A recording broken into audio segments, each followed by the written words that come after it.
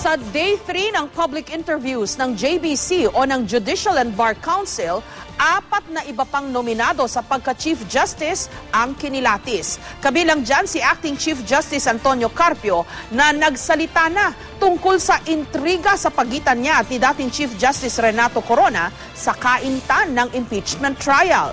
Live mula sa Supreme Court sa Maynila, may report si Joseph Morong. Joseph? Jessica, dalawa nga mga senior uh, associate justices ng Korte Suprema ang uh, kabilang sa mga sumalang sa harap ng uh, JBC sa kanilang public interviews. No, kasama nila ang dalawang dean, itong si uh, dating Ateneo Law Dean Cesar Villanueva at FEU College of Law Dean Amado Valdez. of the Supreme Court. Tekatlong araw ng JBC interview, unang sumalang si University of the East College of Law Dean Amado Valdez. Sa gitna ng interview, nag-init ang diskusyon ni Valdez at ni JBC Panel Chairman Associate Justice Gustavo Peralta. Inusisa ni Peralta ang pahayag ng CJ nominee patungkol sa kung dapat bang ikonsidera rin ang moral grounds sa pagbababa ng anumang desisyon o hatol ng korte sa isang kaso. Ngayon ko lang nala, ngayon ko lang nalaman sa inyo, ay dapat nagdagan ng moral ground ang issuance ng TRO eh. Ngayon ko lang nalaman yan eh. Hindi ko naman sinabing ah, Moral choice eh. kasama yung moral ground, Mr. Chairman. Oh, ano ba? mali- mali ang pagkarinig ko kasi mali ang pagkarinig Mr. ko. Chairman, Okay, go ahead, go ahead. Ang sinabi ko, a judge or justice has to make a moral choice. Now, the way I understand it, pag ibinigay mo yung TRO, yun na yun eh. Hindi naman actually TRO yun. So No, there's no need to amend Rule 65. no there's no need to No. amend that. Inabangan naman ang pagharap ni Acting Chief Justice Antonio Carpio ang sinasabing mahigpit na karibal ng napatalsik na si dating Chief Justice Renato Corona. Si Carpio binasag na ang katahimikan at ipiniliwanag ang personal na sentimiento sa nagdaang impeachment at ang pagkakaladkad ng kanyang pangalan. inatake rin kayong personal. Pero kapansin-pansin po sa akin noon that uh, you exercise also self-restraint. We were expecting you to hit back rin. all these accusations uh, will be exposed as false because I know they're not true.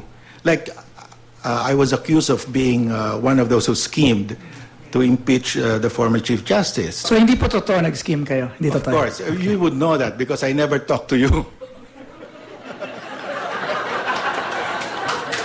I mean, how can I... Nang tanungin naman si Carpio kung posible pa rin daw silang maging magkaibigan ni Corona, Do you think that you can ever be friends with the former Chief Justice?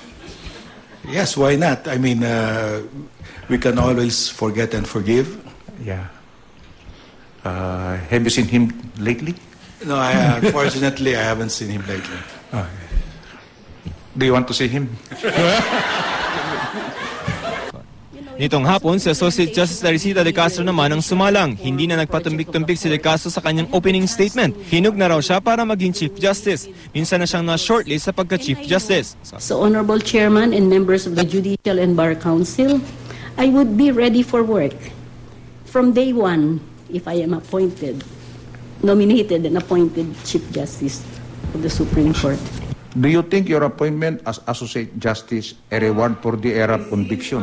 Eh, galing sa Twitter ito, so I have to ask uh, Justice Tess. Uh, I don't think so.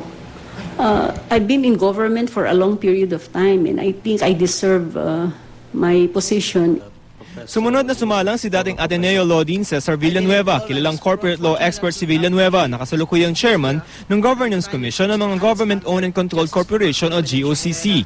Reforma daw ang dadalhin niya sa Korte Suprema kung sakasakaling ma-appoint bilang Chief Justice. when there's so much discretion, so much vagueness in the rules of procedure and the law, that actually, and there's no transparency, that actually engenders corruption.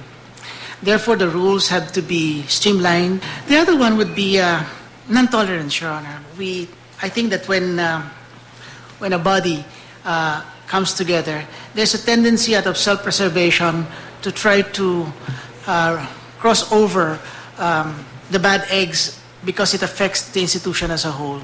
Marami sa mga tanong kanina galing sa Twitter. Tawag nga ng ilang miyembro ng JBC dito, The Twitter. Ha? You've heard of it, ma'am, in Twitter. Ah, yeah, of course, of course. Oo. So we're using it now. And we, do you feel? yeah, it's okay. It's, o- it's that's why we were talking. Eh. It's very well. Some questions are really good, and some are not. So we just ask the good questions. Okay, thank you.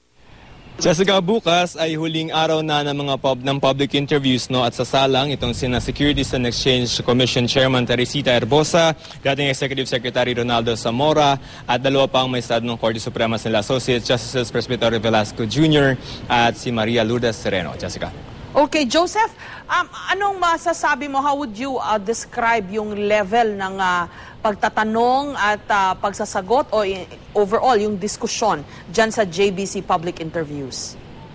So we have maybe three days na, no? Starting uh, Tuesday, Yes. Wednesday, Thursday. So three days. Um, masasabi natin na medyo cordial, no?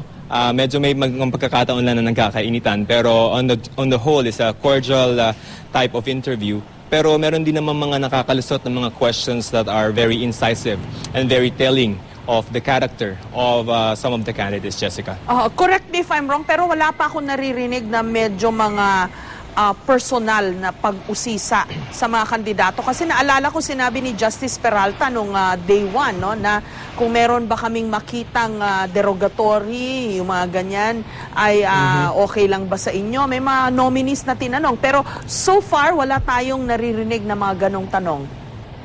Wala ma'am, kasi I think they want to maintain the respect, no? Uh, within the panel interview. Pero meron din mga, kasi sometimes you have to read between the lines sa question.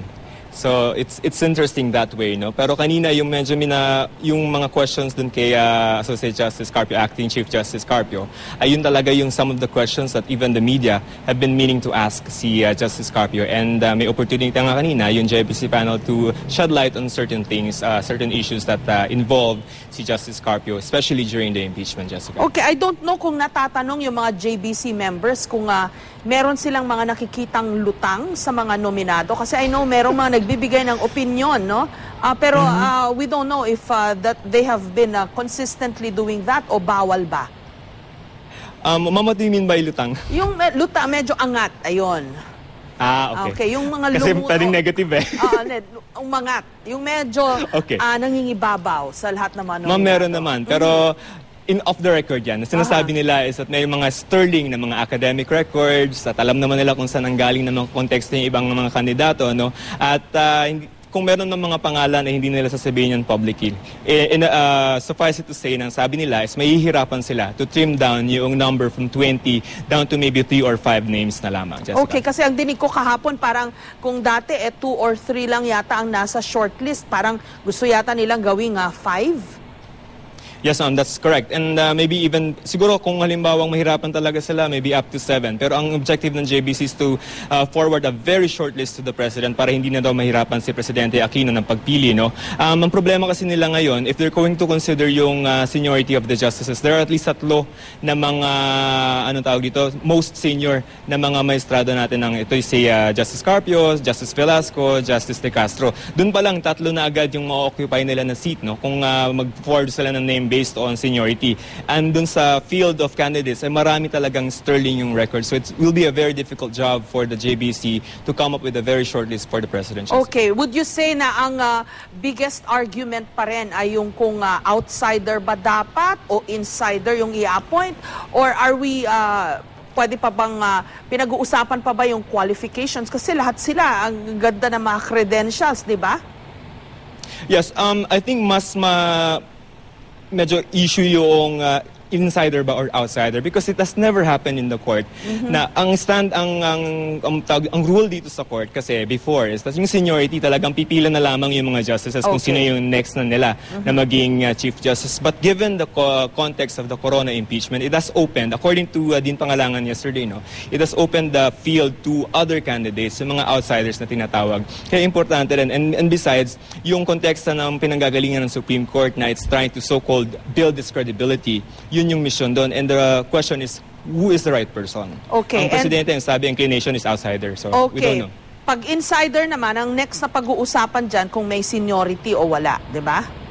That's correct, ma'am. So parang amongst the justices that are nominated ay uh, sino naman yung pipiliin mo kung seniority yung kung sila doon ka pipili sa mga insiders, no? Kanina, very telling yung sinabi ni Justice Carpio.